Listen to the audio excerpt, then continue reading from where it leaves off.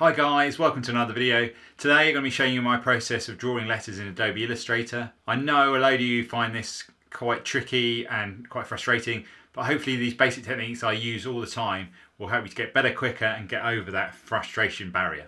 So first up, we want to have our sketch. Um, I've taken the letters E and A because they just come up more frequent than any other letters. Also, a little piece of advice is that the better you can make your sketch off um, the computer, the more refined you can get it, the easier it is when you get onto the computer because all you're doing on the computer is just literally tracing over these letters. And so the better the curves are the easier your curve easier it's going to get to get to make those curves smooth. So um, the next thing I do once I've got I'm happy with my sketch I go around and I plot the points on my sketch and we do that by finding the extreme of each of the curves. So wherever the wherever the line changes direction on the vertical or the horizontal. So uh, let's take this side down here. We just roughly sketch a line down here, and where that intersects with that line, that's going to be one of our points. We're going to put in way too many than we need, but it's just so we've got them there as reference. So the bottom of this E, I'm going to roughly draw a line where this line change, changes direction, plot another point, at the top there's another point and the same on the A. Everywhere we can find a change of direction of that curve. Uh, obviously that's in a change of direction there so there's going to be a point there another one there obviously there on the end of the, the thing on the bottom there. If one there I may take that one out because I'll probably where we've got one at the top here probably use the curve from that the handle from there and there to smooth out that curve. So it's changed there, so there and there. Obviously we have a couple of points there where that, we, I always try and make the letter as a whole letter rather than join these two together. We're going to have one there, but I'll show you a technique of what I use to go to make those internal corners. On the bottom here, there'd be a couple of here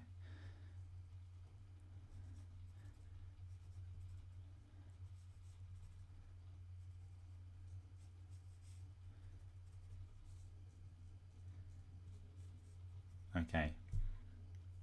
The P1 just here. So there we have our points. Um, they're all ready to go. So we, what we can do is when we go on the computer, we can just plot out the points and then start uh, refining those curves. So what we want to do now is get your um, mobile or a scanner and take a photo of that and then take it onto the computer. Open up Illustrator and then we go from there. Okay, we're in Illustrator. We've placed our image in there. If you need to know how to place an image, go to File, um, Place. Uh, we put the our image in there, and what we want to do is we're in the layer, layers palette. Double click on our layers. We want to dim our images to about 50%, um, and we want to lock it so we don't move around. So okay, that. Add another layer, and this is the layer we're going to be working on. So we want to grab our pen tool, P, or click on the icon, and we don't want to fill at the moment we just want to have um, just choose a bright color I normally choose like orange or um, pink magenta and up the stroke a bit. And now what we're going to do is start plotting these points. Um, you can if you want put lines in to guide you to make sure they um, if your your sketches uh, like the E and the A are both level with each other, then you might want to put some guides in. But if you've got um, uh, if you have smart guides, it will do that for you anyway. So, so what we're going to do now is just roughly go around and put all these points in. So I normally start here, um, work left to right. Uh, re really rough, and I put in all the points at first. Don't worry about being neat. We do that in a minute. Close the path off and then same with the A. And we start at the top. Work my way around around. So this is, uh, as I was saying when I was doing over the sketch, is with these points, I don't just put a point there, I put actually two points in. So all you want to do is you want to put one point past it and one point before it and then come down to the bottom. And then it makes a it makes it easier to control that corner bit there.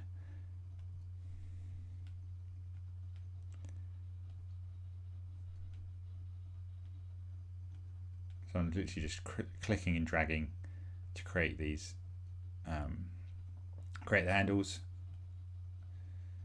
and then back to the beginning again. And now what we can do is start refining these. So I'm just going to make these a bit bigger so it's easier to see.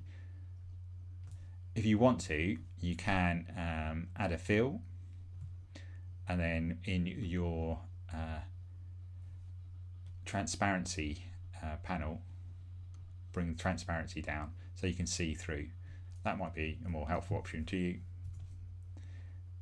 And so let's start with the E. And so what we're going to do now is just start um, grab grab the end of the handle. I've just got the direct selection tool, and we're going to move start moving that around. What I normally do is have my finger hovering over the uh, shift key on my keyboard. So when you press it, it goes to uh, uh, 45, 45 degree increments but we want mainly want to look at the horizontal and we want to look at the vertical. So for uh, that one we were going on horizontal and this one down here actually we don't need because the less points you can get away with it's easier to make these curves smooth. So I've selected that one with the direct selection tool and then we're going to go up to remove selected anchor point at the top. And then what we do is just going to pull out. We normally work in pairs. The sort of it's normally um, the handle of one side with an opposing handle of the other point rather than working those two handles as a pair. So we're just going to try and follow that line until we got it as close as possible and then we go on and move on to the next thing. So here we're just going to move that line so it follows that. And we go down here, move that, so that curve holding down the shift key, that line just about runs on top of that. We are uh, not going to use that one, so it's another one we're going to delete because we're going to use these two we've got here. Horizontal, make sure that's straight, and then we're going to just keep tweaking it back and forth until we get get it on that line. That one we're not going to use, so get rid of that. We're going to use this one down here. Move that into the right position. Same with that one. It's just a series of tweaking tweaking these um, handles. So that's another point going to get rid of.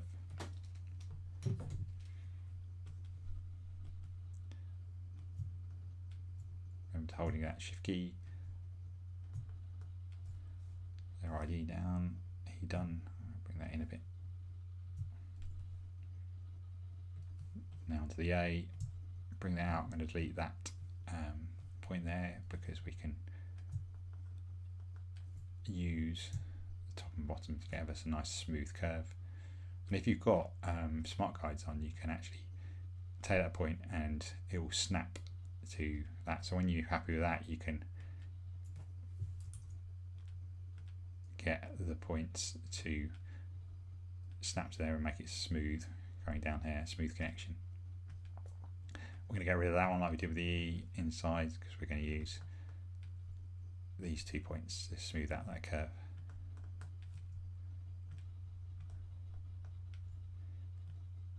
Here we're just position it the right way, not going to actually make it horizontal or vertical with this one.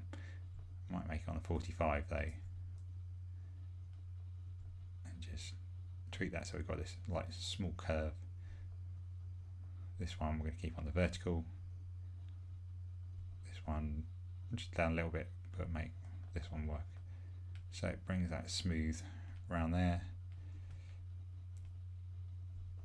These ones actually I might not actually hold the shift key down and just because it's an endpoint I sometimes just have it at a round angle it's just these main ones here like smooth out.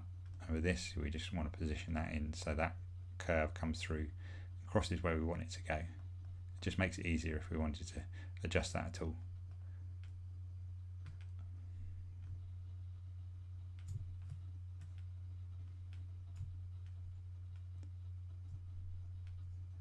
This one again. Some 90% of the handles are either horizontal or vertically, but sometimes I choose to use some that are not. And there you go, pretty happy with that. So now we bring up the transparency just to check. There we go. And then what we can do is just you know, try and match the weight, just tweaking it, what we think's right. Also, if you want to line up points, you can select with direct selection tool and then use the bottom lines. That one's at the bottom. If you want all three to line up. And there we go. And it's just a series of tweaking. You know, if it's not working right, you just keep tweaking those until it's on that curve. And as I said, the better you can make your illustration, your sketch at the beginning, the easier it is. You just all you do is like a blueprint when you bring it onto the into Illustrator, just to trace over, um, and that will help you to get better curves. There you go, guys. That's a little intro into my process. I'll probably do another video with a more advanced uh, Illustrator techniques. But if you've got any questions, then please do leave them in the comment section below. I'll try and answer all of them. Uh, otherwise, please do give it a thumbs up, subscribe, share with anyone who might find this useful, and I'll see you in the next video.